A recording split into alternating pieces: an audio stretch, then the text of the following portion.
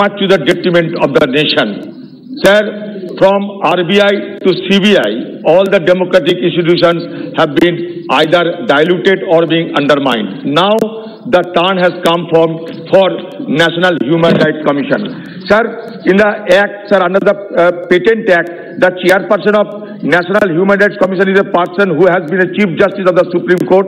The bill amends this to provide that a person who has been chief justice of India or a judge of the Supreme Court will be the chairperson of NHRC. So that means that it is errantly a dilution of the parent tax, which will certainly degrade and reduce the gravity, the status of the National Human Rights Commission. That is why, sir, I am opposing the introduction of the bill and also flag the attention of the ministry as well as the House through you that the bill should enable significant expansion of the number of members at the National and State Human Rights Commission and ensure adequate representation of members, including on the basis of gender, caste and indigenous status.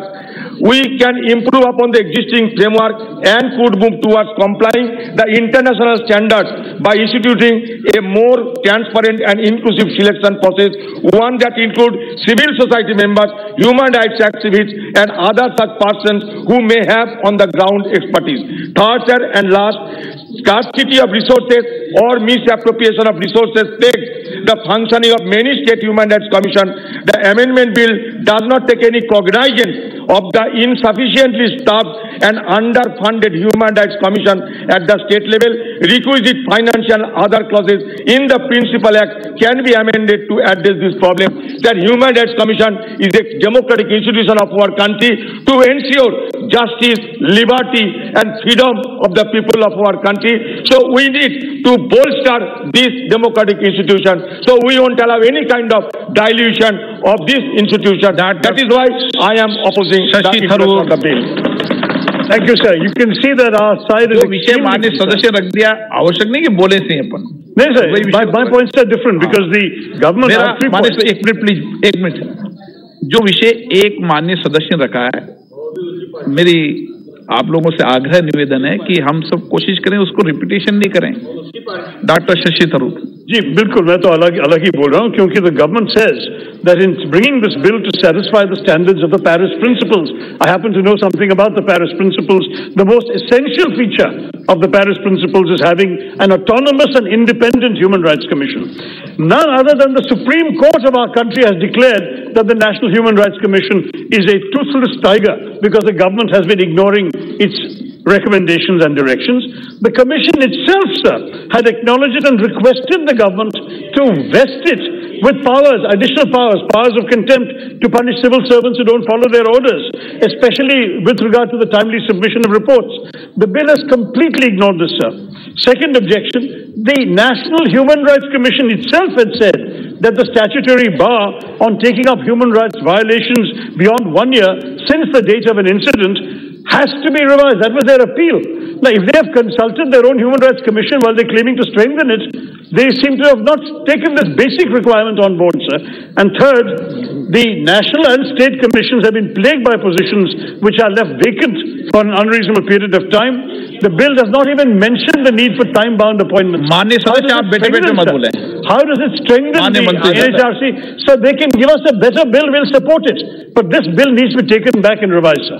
Thank you. मान्य मंत्री जी please एक minute मैं फिर माननीय सदस्य से आग्रह करता हूँ कितना भी वरिष्ठ मान्य सदस्य है जब कोई मान्य सदस्य बोल रहा हो तो कृपया मुझे अच्छा नहीं लगता किसी को टोकने के लिए बेटे बेटे अपने वक्तव्य को जारी नहीं करें माननीय मंत्री जी अध्यक्ष जी अध्यक्ष जी जो सवाल सदस्य ने अपोजिशन सदस्य ने उठाए अपोजिशन पार्टी सिर्फ़ अपोजिशन करने के लिए नहीं है कंस्ट्रक्टिव सजेशन भी देना चाहिए। हाँ, सुनिए सुनिए सुनिए सुनिए सुनिए हम इसमें हम हम, हम बोलने के बाद बोलिए आप। मैं आप, आप बोले तो मैं कुछ नहीं बोला मैं बोला। सुनिए the protection of human rights act 1993 itself is based on the Paris principles आदरणीय अध्यक्ष ने उठाया पेरिस प्रिंसिपल के आधार पर ही हम इस अमेंडमेंट को लाए हैं। द अमेंडमेंट्स स्पेशली ये ह्यूमन राइट्स का राइट्स खत्म होगा, ऐसा नहीं होगा। अब सुनिए the specially increasing representation of civil societies and women will bring greater conformity with the Paris principles. Paris principles में बताए सिविल सोसाइटीज को इसमें जोड़ना चाहिए, महिलाओं को जोड़ना चाहिए ह्यूमन राइट्स में। रक्षा करने के लिए क्योंकि 50 percent of population in India 50 महिला है महिला को जोड़ने के लिए अमेंडमेंट ला रहे इसलिए मैं आप लोगों से अनुरोध करना चाहता हूँ स्टाफिंग अपॉइंटमेंट्स और administrative matters secretary general NHRC is being delegated full powers administrative and financial powers to enable to him make the required appointment itself another another thing अध्यक्ष सुप्रीम कोर्ट जज का बात किया Supreme कोर्ट जज same status of Chief Justice. उसमें जो seniority है, उनको सुप्रीम कोर्ट जज बोलते हैं। मगर उसमें नहीं पढ़ना चाहिए। मगर जजेस, जज, सुप्रीम कोर्ट जजेस चीफ जस्टिस एक ही होता है। मगर जो सीनियरिटी होता है, काम चलाने के लिए सुप्रीम कोर्ट उसमें कोई काम करने के लिए नहीं है। आप लोग समझना चाहिए। ये it is important that the post of chairman does not remain vacant क्योंकि हम समझना चाहिए सुप्रीम कोर्ट चीफ जस्टिस जो है, वो लोग आना नहीं चाहते हैं, कुछ समय हमारा इंटरेस्ट नहीं है, ऐसा बताते हैं। उसके कारण से खाली वुमेन का चेयरमैन का सीट खाली पड़े रह रहे महीनों महीने। इसके लिए हम प्रयास करेंगे चीफ जस्टिस कराने के लिए आर बताए, आर। Chief justice are.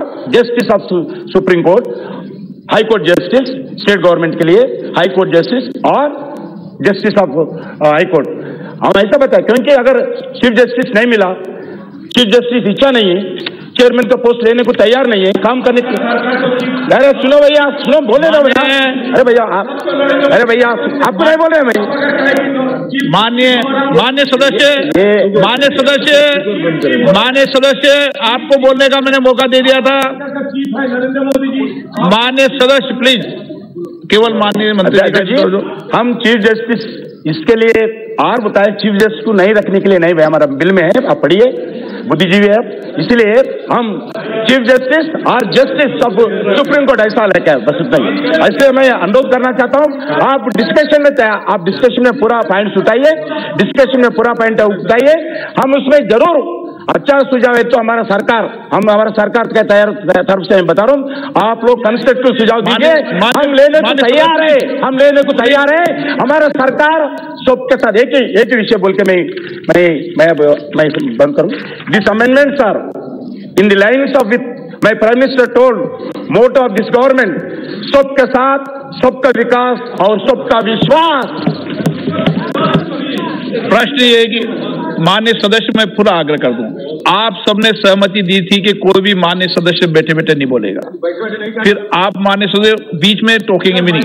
मैंने टोकेंगे भी नहीं मान्य सदस्य प्लीज़ जब एक बार आप सबने सहमति से व्यवस्था दी है तो चाहे सत्ता पक्ष हो, चाहे प्रतिपक्ष हो, सदन सबकी सहमति चलता है, सदन सबका है तो मैं आग्रह करूँगा कि सदन इसी व्यवस्था से चले। प्रश्न ये है कि विधेयक को पुनः स्थापित करने की अनुमति प्रदान की जाए जो सदस्य इसके पक्ष में हाँ कहें जो सद, विरो, जो विरोध में वो ना कहें मेरे विचार में निर्णय हाँ वालों के पक्ष में हुआ है, वालों के पक्ष में हुआ अनुमति प्रदान की जाती है। मंत्री जी अब विधेयक को पुनः स्थापित कर सकते हैं। Honourable speaker sir,